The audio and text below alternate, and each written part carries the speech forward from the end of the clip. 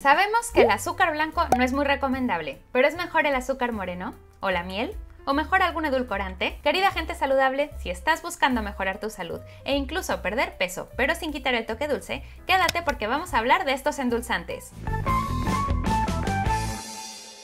Hola a todos, soy la nutrióloga Andrea Ricaño y espero que se encuentren muy bien. En videos anteriores he hablado sobre la importancia y maravillas de no consumir azúcar. Si no los has visto, te los recomiendo. Te los voy a dejar en la descripción del video. El caso es que siempre surge la duda de qué pasa con los edulcorantes o si se puede consumir miel o azúcar moreno. Así que hoy hablaremos de estos endulzantes, cuáles son sus pros y sus contras para que decidas cuál es el mejor para ti. Empecemos primero con el azúcar normal, que es la más utilizada en todo el mundo, también conocida como sacarosa, que es una molécula formada por glucosa y fructosa. Son nombres raros, pero atención porque esto es importante. Generalmente proviene de la remolacha o la caña de azúcar, y para obtenerla se somete a un proceso de refinación para que tenga ese color blanco y cristalino. En 100 gramos de azúcar hay aproximadamente 398 calorías, y prácticamente su único nutriente son carbohidratos, así que cuando la consumimos estamos comiendo solo calorías vacías, aparte de todos los contras que nos produce sobre la salud. Pero ahora hablemos del azúcar moreno. Yo en realidad la llamaría la hipócrita, y es que muchas muchas veces la ponen con mensajes como este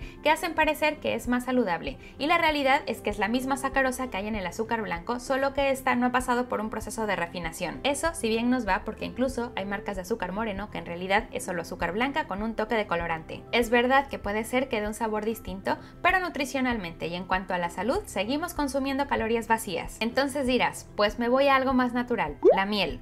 Si la producen las abejas y viene de las flores, no puede ser mala, ¿no? Veamos, si nos vamos a la química, la miel se compone principalmente de fructosa y glucosa. ¿Te suena de algo? Sí, efectivamente, las mismas sustancias que están en el azúcar. Y esto hará que nuestro metabolismo actúe de igual forma. La diferencia está en la proporción de cada una de ellas y que también contiene otros nutrientes, como vitaminas, minerales y enzimas. Sin embargo, están en un porcentaje muy muy pequeñito, por lo que si ponemos en una balanza sus pros y sus contras, nutricionalmente también la contamos como un azúcar libre y es mejor evitar o reducir su consumo. Si quieres saber más sobre la miel, te compartiré este otro video en la descripción. Ahora vamos con los edulcorantes. Existen muchos, unos más naturales como la stevia o el fruto del monje que provienen de una planta o algunos otros como la sacarina o el aspartame que son más artificiales. Por ahora hablaremos de ellos a modo general. Estos endulzantes tienen la característica de dar un gran sabor dulce, incluso más que el azúcar o la miel, pero con nada o muy pocas calorías. Y por otro lado, según el tipo de edulcorante, es probable que no altere los niveles de glucosa en sangre o si lo hacen es muy poquito. Así que hagamos un análisis. Si el azúcar o la miel no son recomendables por aumentar los niveles de glucosa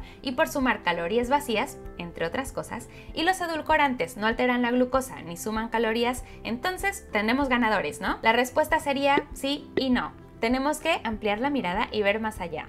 Pregunta para ti, ¿por qué comes cosas dulces? Imagino que la respuesta es porque te gustan. Entonces aquí entra en juego otra cosa, y es que cuando comemos alimentos dulces se libera dopamina, un neurotransmisor que nos da sensación de placer. Nuestro cerebro, como si fuera un niño pequeño, quiere repetir esa acción y te pedirá cada vez más dulce, y la ansiedad aumenta. Al cerebro le da igual si le das azúcar, miel o stevia, él solo detectará el dulce y querrá cada vez más. Por eso mi recomendación es que también reduzcas o evites el consumo de edulcorantes. Esto es lo que haremos en el siguiente reto de 3 semanas sin azúcar, en el que te daré el paso a paso, menús y recetas para conseguirlo, además de mi asesoría y otras cosas que puedes ver en quierounadieta.com. Y por último, mi querida gente saludable, me gustaría aclarar que no estoy satanizando los azúcares ni diciendo que nunca los comas. A mí también me gustan. Lo que quiero transmitir es que si los vamos a comer debemos estar conscientes que lo único que nos van a aportar es un placer momentáneo y poco más. Y si tuviera que decidir cuál es el mejor endulzante dependería del enfoque. La miel sería más natural, pero quizá prefiero no sumar calorías, o quizá prefiero usar azúcar moreno por su sabor y no pasa nada porque el resto de mis comidas son saludables. Así que es cuestión de enfoques. ¿Y tú? Cuéntame en los comentarios cuál sueles usar. Espero que te haya servido el video, te voy a compartir otro por aquí con ideas de menú semanal sin azúcar y me ayudarás a seguir haciendo más si lo compartes y me dejas un me gusta. Recuerda, invierte en salud y cuida tu dieta. Te espero en el reto.